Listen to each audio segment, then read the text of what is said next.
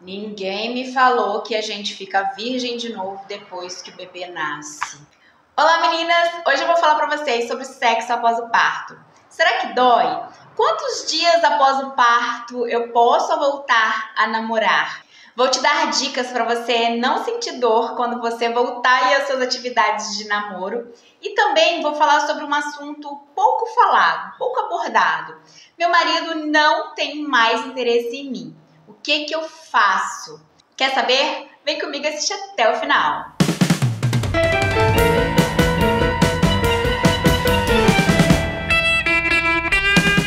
Muito bem, eu me chamo Thaís e seja muito bem-vinda ao portal. O papo de hoje é um papo assim mais íntimo, é um papo assim de amiga para amiga. Eu resolvi trazer e abordar esse assunto porque eu achei na minha época quando do meu primeiro filho, eu achei poucas pessoas falavam sobre o assunto tão abertamente. Então aqui hoje eu vou trocar umas ideias aqui com vocês e vou te falar coisas que funcionaram para mim e que você pode fazer aí para não ser tão dolorido, sabe? A sua primeira relação após o puerpério. Meninas, eu me lembro até hoje do meu primeiro filho. Meu primeiro filho hoje está com 7 anos. Eu me lembro que o meu primeiro filho, gente, quando eu voltei para ter relação, ninguém tinha me contado que o negócio doía tanto que a gente parecia que ficava virgem de novo. Gente, vocês não têm noção do tanto, tanto, tanto que doeu no meu caso, tá? Gente, fui eu lá namorar, sabe? Voltei aos meus namoros mas na hora eu não consegui. Gente, eu só fui conseguir mesmo efetivar o negócio, sabe? Umas quatro vezes depois de várias tentativas. Mas mesmo assim, depois de conseguir lá os finalmente, eu ainda fiquei sentindo dor na relação durante um bom tempo depois, até as coisas voltarem ao normal. Mas eu vou explicar para você por que, que isso acontece na mulher. A mulher ela tem muita oscilação hormonal, principalmente o aumento da prolactina. A prolactina é o hormônio que a mulher tem que faz com que ela produza leite. E quando esse hormônio aumenta, né, que é pra gente poder fazer a produção de leite, os hormônios do prazer, eles caem. E é isso que faz a mulher ficar tão seca. Ela fica sem lubrificação e também fica sem vontade de namorar. Gente, se você tá tendo muita vontade de namorar ou se você teve durante o seu resguardo, seu puerpério, você me conta aqui embaixo porque acontece também de algumas mulheres terem mais vontade do que antes, mas você me conta aqui embaixo. No meu caso, gente, eu não tinha vontade, ó, nenhuma, nenhuma, nenhuma de namorar, por causa dessa toda oscilação hormonal. Mas os homens não têm oscilação hormonal, mas os homens não teve modificação no corpo, não cresceu barriga, não diminuiu barriga, não teve dor de parto, como a gente teve para as mulheres que teve parto normal. Quem teve cesariana também tem a recuperação da cirurgia. Os homens não passaram por nada disso. Então, eles devem estar muito, muito ansiosos para voltar a ter a retomada aí dos namoros.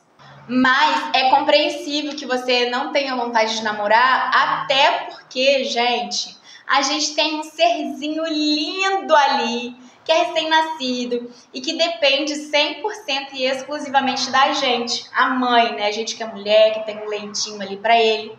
E é normal que a gente não tenha essa vontade toda de voltar aí pro namoro. Mas eu tenho umas dicas para vocês, para vocês fazerem para que quando você volta, quando você retomar os seus namoros, para que você não sinta tanta dor como eu senti da primeira. No meu primeiro eu senti muita dor, mas depois eu tive outros dois filhos que foi assim, ó, tranquilão e eu não sofri nada para poder voltar a ter as relações aí após o período do puerpério. Eu vou te dar algumas dicas que eu fiz e que funcionou comigo. Então, gente, a primeira dica, durante o seu resguardo, para as mulheres que teve parto normal, elas têm que aguardar um período de 30 dias. Para as mulheres que teve parto cesariana, são 45 dias. Durante esse período, você não pode ter relação sexual de penetração. Mas até mesmo para evitar infecções, né? Então não pode ter nem o vaginal e nem o anal, justamente para evitar aí todas as infecções durante esse período, ok? Troca de carícias que é muito importante e aí você já vai se aproximando também aí do seu parceiro. Você pode se masturbar durante a quarentena, durante o período aí de puerpério. Por que, que isso é tão importante? Porque quando você se masturba, você vai começar a fazer com que a sua região íntima, a musculatura íntima, para que ela volte a se exercitar. E aí, para quando você voltar a namorar, aquela região já tá voltando ao normal, estando um pouco mais desenvolvida, ela não ficar ali tão estática.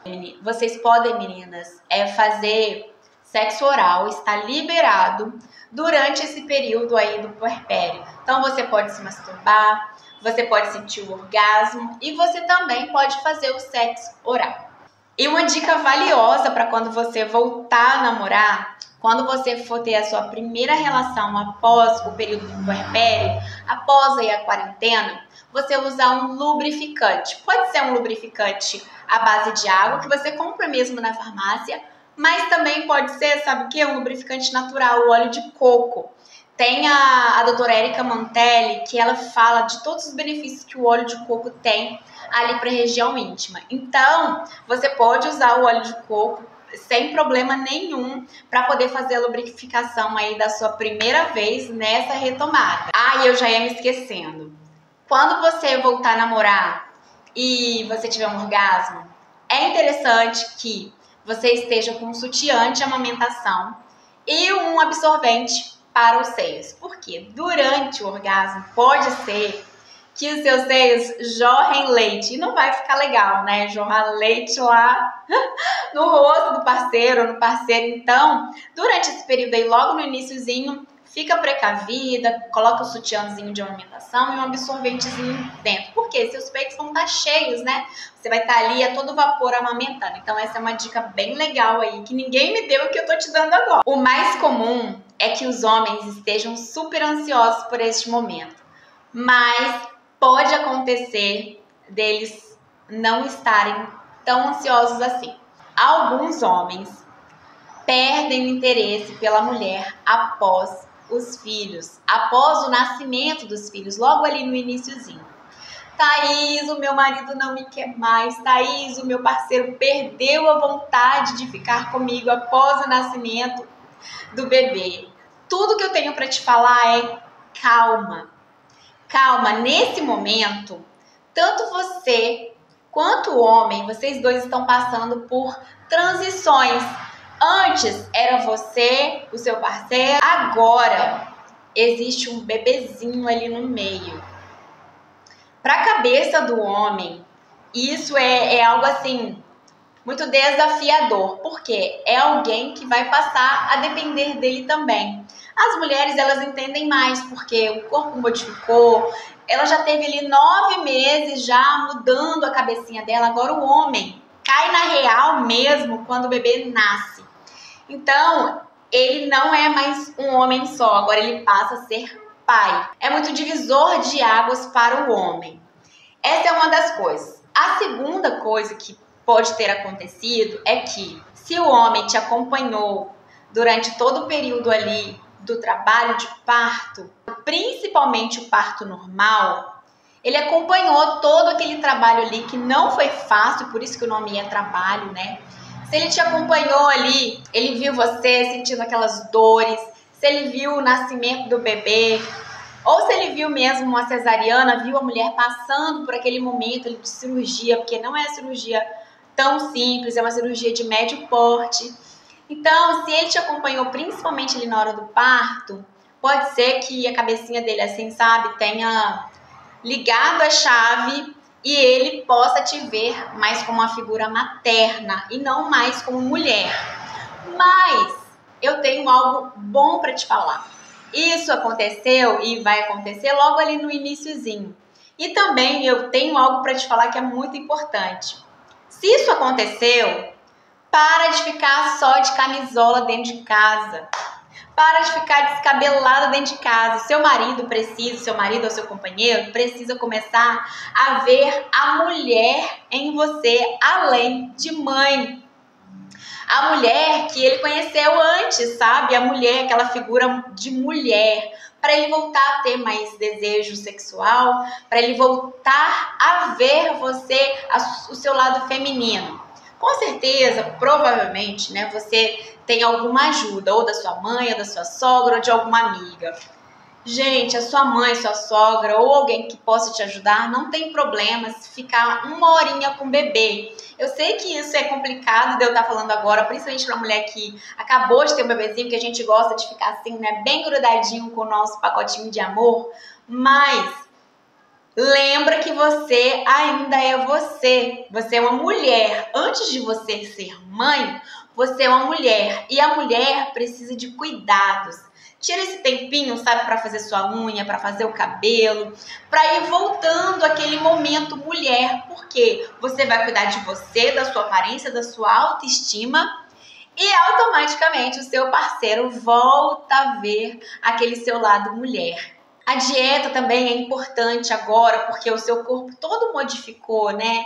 Então, não sai comendo todos os mundos. Eu tô falando isso, mas eu sei que, eu, que após o parto me dava muita, muita, muita vontade de comer. E às vezes, porque a gente não engorda na gravidez, a gente engorda após o parto, né? Pelo menos comigo foi assim. Então, não quero comer o mundo de uma vez, porque a gente também pode acabar engordando muito.